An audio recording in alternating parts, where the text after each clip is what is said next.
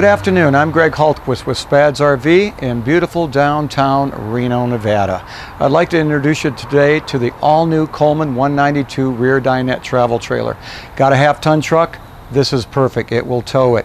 It's got an excessive amount of pass-through storage through here you can put your fold-up chairs, fishing rods, sleeping bags, whatever else you wanted to do. It also has an electric awning with LED lighting to give you that special beautiful effect at night.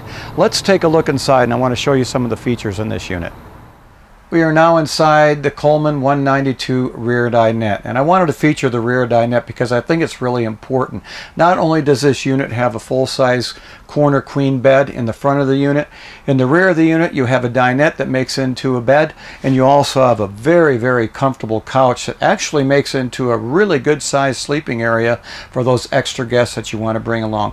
Also plenty of storage, nice sized uh, pantry area, storage and cupboards above the dinette. This is a perfect unit. I want to get you into a camping right away. Come on down and see me and look at this beautiful RV.